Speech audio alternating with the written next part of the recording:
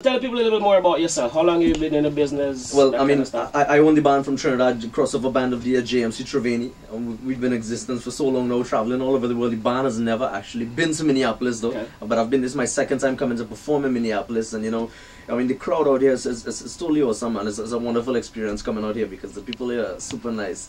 And, you know, just